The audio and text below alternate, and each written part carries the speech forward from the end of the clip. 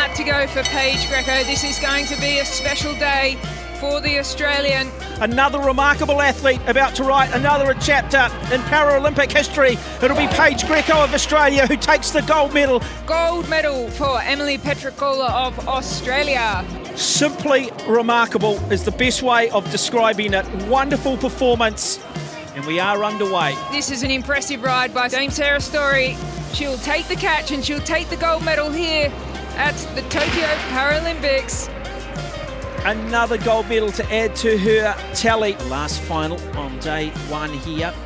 Great Britain versus the Netherlands. We are underway. Bate versus Bangma. They were to catch Stephen Bate of Great Britain. That would be something special. And that is just a wonderful performance from Tristan Bangma. He is the Para Olympic champion.